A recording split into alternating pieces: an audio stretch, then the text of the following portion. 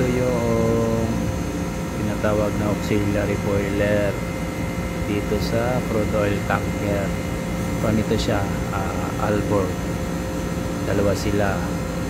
1 tsaka 2 pag nakangkurahe yung isa naka-auto. Yan naka-auto siya. Makikita naka-auto. Auto. yan siya tapos uh, automatic siyang magpa-fire automatic din siyang papara. Kita mo dito pag naka-fire yung mag, magkukulay blue itong tatlo katulad dito yan ganyan oh. yan nagpa-fire yan siya. Uh, ang tanong kailan ba siya magpa-fire uh, nagpa-fire siya pag maabot na yung low pressure. Bawa yung set point nitong boiler pressure niya is 6 uh, yun. Magpa-fire na siya doon. Tapos papara din siya na aabutin niya na yung boiler pressure niya na bawa 10 yung seating. Papara din siya ng 10 yun. Tapos ito kasi malalaki kasi yung boiler dito sa crude oil kasi ginagamit sa cargo pump steam.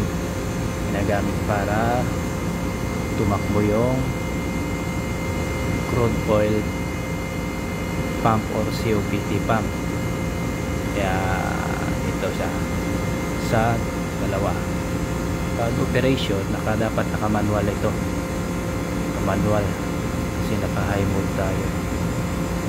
Naka high mode yung itong slip.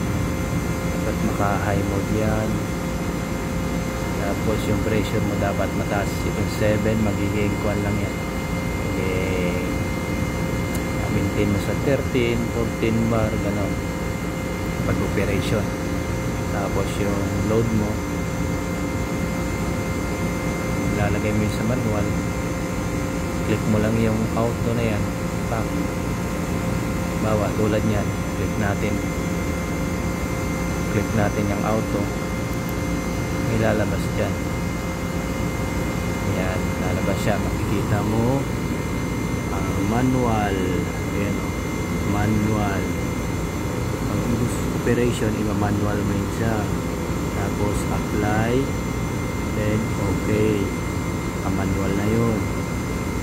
Pero ngayon naka-apply kasi tayo. Dapat naka-auto yung boiler natin yan.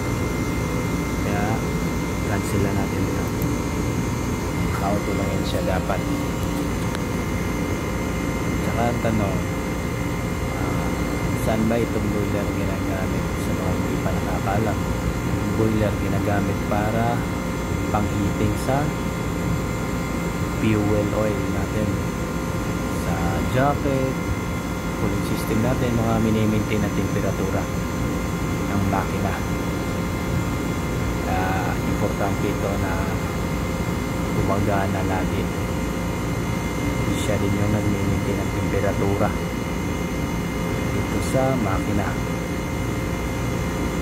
Sa fuel sa jacket cooling. Yan. Kaya ganun lang. Kasi yung fuel yan naka-auto. Yun lang siya